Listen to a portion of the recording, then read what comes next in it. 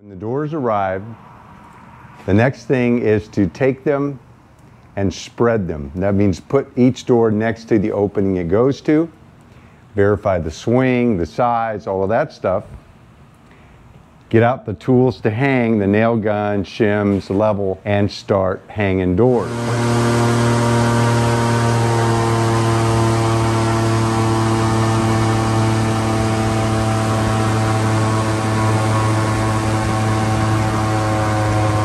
Once they're all hung, then they get cased, and then of course base can be run. And then the painters come in and pop the doors off the hinges, take the hinges off, and then take the doors out and paint them. This time is a little different. I ordered these doors standard height, 6'8". The house has lower ceilings, and it's some really interesting architecture, but one of the drawbacks is that a lot of standard things don't fit, doors being one. All of the area that where that interior doors go, the doors are too sick. So I have to to cut down the doors and the jambs, which means I have to take the screws out, pop the doors out of the hinges, cut the doors, and then cut down the jambs. And then before I put them back together, go ahead and set up and spray the doors and spray the jambs, then put them back together and take them in and hang them. First, I'm going to start by prepping the doors to be hung.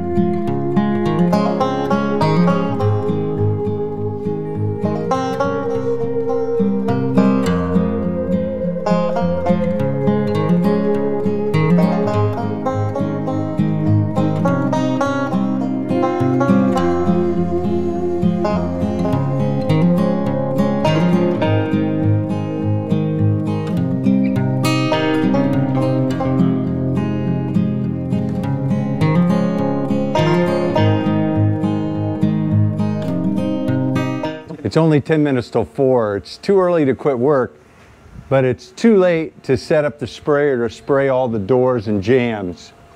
I'm going to do that tomorrow. The GoPro Hero 10 overheated, just as my 9 did and my 8 did, my 7 did. They're just so small, and when you run them long periods of time, it's just something you have to live with. So if you didn't see it all, what I did here was set up plastic against the wall, just stapled, and I, and I came out with the tail on the floor and then I put these heavy tarps on top of that. And I'm going to spray against the wall as well as I'm going to set up the doors freestanding out here tomorrow. But what I've done is taken the tarps and, and flipped them up and to kind of protect the doors because we're outdoors. Tomorrow I'll just drop the tarps down, set up the doors, get everything the way I want it. Then I'll get the sprayer out, set up the sprayer and go to spraying and I'll get a better job than if I tried to do it today and went late. I'll be using my Titan six stage HVLP. It's the 115. That's the most powerful one. It's a pretty amazing sprayer. I really like it. I haven't used it a lot. I've had it a couple of years, but now I have a lot of opportunity to spray with it. And I still have to learn the adjustments and stuff, but I'm paying, painting with a real high quality finish paint from Sherwin-Williams. It's a urethane and it's uh, pretty thick, but I'm not having to thin it down, at least so far. I'm getting a nice finish. When I'm doing the doors, they'll have a bigger surface, so I'll be a little more careful and I may do some practice on some big pieces of cardboard as I'm getting dialed in. Everything is labeled. Chris took care of that. Taped over the lay over the markings on the hinges. We do that. Pull the hinges right right on the bare wood there, and then put a piece of tape over it. I'll spray over that tape and then when I'm done, I'll peel it. I can see what door, what jamb. Theoretically, they should all be identical with the jigs that do the butt hinge mortising.